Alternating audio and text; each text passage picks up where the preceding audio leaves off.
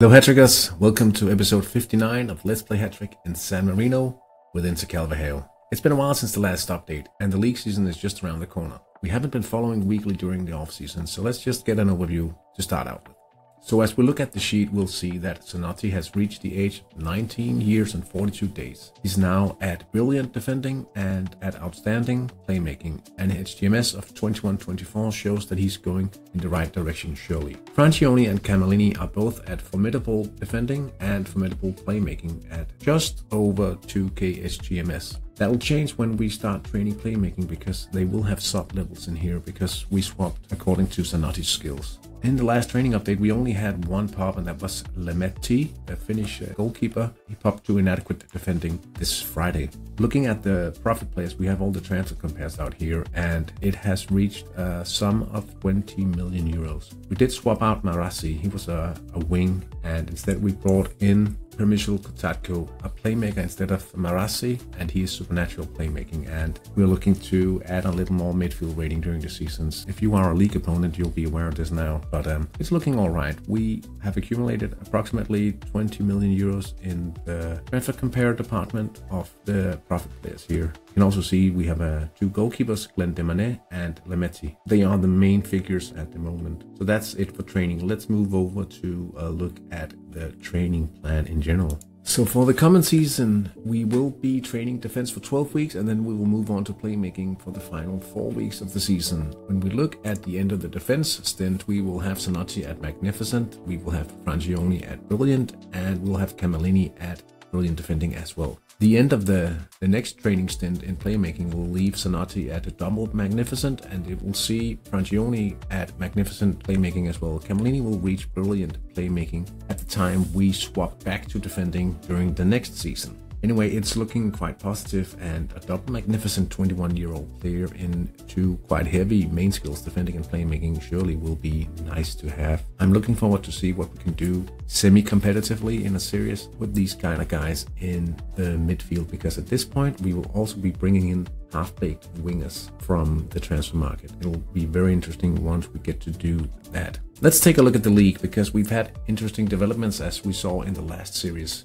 eight teams now in the series, and I think my goal for the coming season will be a third place like last season because competition has really stepped up this season. We start out home against the unknowns in the first round, and uh, we'll be looking to get three points to start the season. And in the second round, we go to AC Tre Bicchieri. And if we look at this match, we will see that it's a fairly newly started team. So hopefully we can get off to a good start and get two victories in the first two rounds. I was looking forward to make uh, this week's youth call, but unfortunately I scuffed it up. But uh, we didn't find anyone interesting, and uh, the youth player we found, in the final call was also fired immediately. So no worries about missing this week's scouts pool. We did play the first round of the Coppa Titano against the Zen Masters, and unfortunately there'll be no cup run this season because the Zen Masters was just too much of a challenge for us. Uh, this central attack and midfield advantage was just too much to handle, and we didn't have much chance of scoring, especially after the pullback. But really, we were overmatched in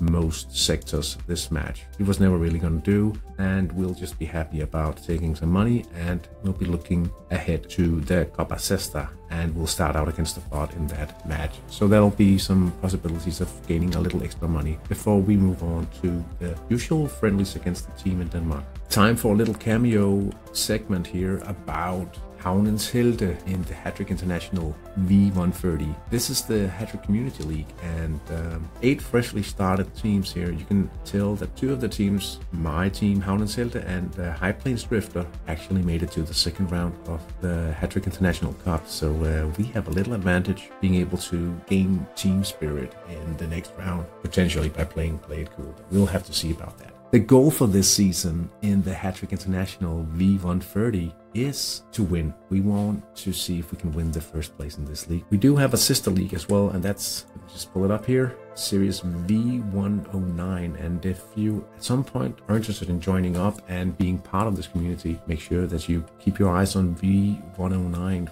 for a preferred series uh, series swap for next season. But as I let me just say it again to make sure that everyone hears it, I'm looking to secure the first place in the first season of V130. We start out away against the Hattrick Australia Huskies. That'll be very interesting to see. And the plan is to live stream most of these matches on Saturday on the YouTube channel here also. So hopefully I'll see you guys in chat once that starts out.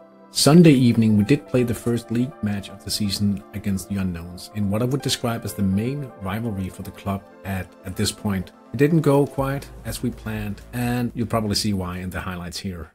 Zanotti intercepts an attack here and is prepared to make an all-important clearance. He tries to dribble Danny O'Dare first, but he steals the ball and scores.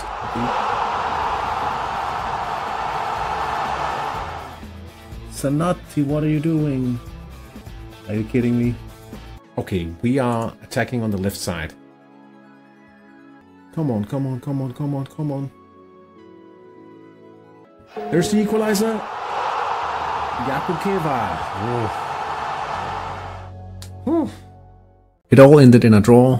Yeah, not the best start of the season. Zanotti actually scoring but an on goal. The league standings leaves us in sixth place. We'll hope to get a victory in the next match against AC Tre Bicchieri. Yeah, hopefully Zanotti can redeem himself and score a few goals in, in that match because this was uh, this was below par. So uh, yeah, not the best start of the season. We lost in the Coppa Titano. We lost two points in the first match of the season and against our main rivalry at home even. Hmm, this could be a lot better. But um, I still hope you enjoyed this episode. Please like and subscribe if that's the case. I'll see you guys soon. Take care.